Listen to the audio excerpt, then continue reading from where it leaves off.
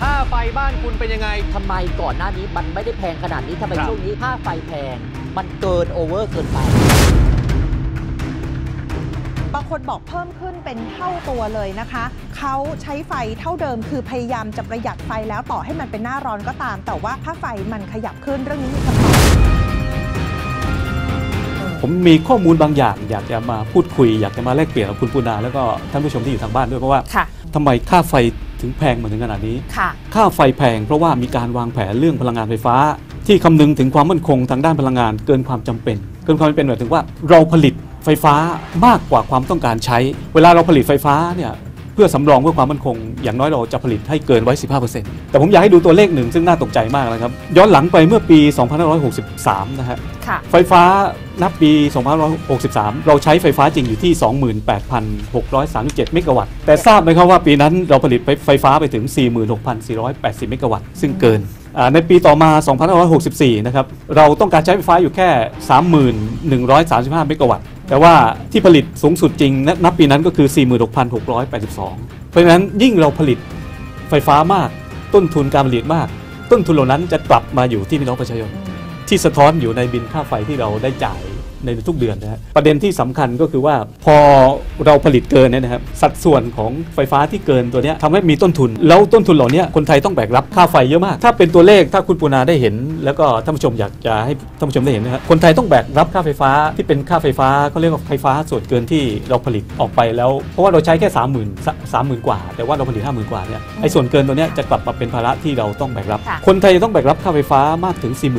48,929 ล้านบาทค่ะต่อ 1 ปี ผมคิดง่าย ๆ ว่าทั่วประเทศไทยของเราเนี่ยมีมิเตอร์อยู่ประมาณสัก 23ล้าน9 9 6 0 0 0อาตีกลมๆมิไปเตอร์หรือว่า 24 ล้านมิเตอร์แล้วกันเราก็เลยเอาตัวเลข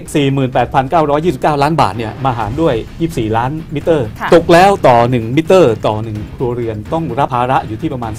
2,990 บาทค่ะโดยประมาณต่อหนึ่งครอบครัวต่อหนึ่งปี นี่คือสิ่งที่พี่น้องประชาชนต้องมารับผิดชอบและก็มาจ่าย ผมอยากเล่าให้เห็นภาพว่าไฟฟ้ากว่าจะมาถึงบ้านเราเนี่ยนะครับโดนผลิตโดยโรงงานไฟฟ้า ซึ่งโรงงานไฟฟ้าเนี่ยจะมีขนาดที่แตกต่างกันไป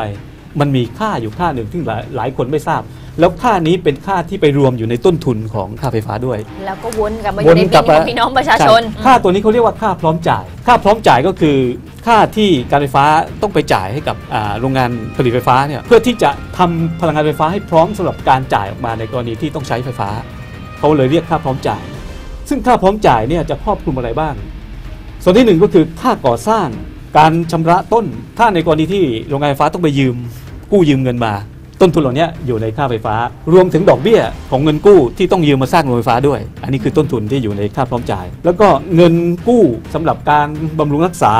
สำหรับค่าค้ำประกันโรงงาน แล้วก็ค่าบำรุงรักษาต่างๆ ในโรงงานของโรงงานไฟฟ้าก็รวมเป็นค่าจ่ายรวมอยู่ในบินของเรา ค่าใช้จ่ายในการบริหารของโรงงานไฟฟ้า ก็โดนคิดอยู่ในบินของเรา อีกส่วนหนึ่งที่สำคัญมากค่าผลตอบแทนจากการลงทุนให้แก่ผู้ถือหุ้น นั่นหมายถึงอะไรนั่นนั่นหมายถึงกำไรหรือผลตอบแทนที่จะต้องให้กับผู้ถือหุ้นที่มาลงทุนในการทำโรงงานไฟฟ้า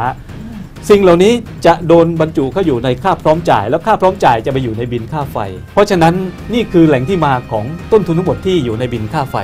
เรามีโอกาสที่จะศึกษาเรื่องนี้ ให้ศึกษาอย่างจริงจังแล้วไปหาอ่าเขาเรียกต้นตอปัญหา อย่าคิดแค่แก้ปัญหาระยะสั้นนะครับ การแก้ปัญหาที่ดีต้องยั่งยืนแล้วก็ถาวรแล้วก็ใช้ได้ตลอดไป เพราะฉะนั้นเราแก้ปัญหาแค่วันนี้ไม่ได้สำเร็จนะครับ เราต้องคิดการแก้ปัญหาให้เป็นเชิงบูรณาการ มีกลยุทธ์ที่ดี อย่างน้อยเรามีมิเรามี vision ที่ชัดเจน เรามี vision mission เรามี strategy หรือว่ากลยุทธ์ในการที่จะต้องทำเรื่องนี้เราต้องคิดให้ทีท่วน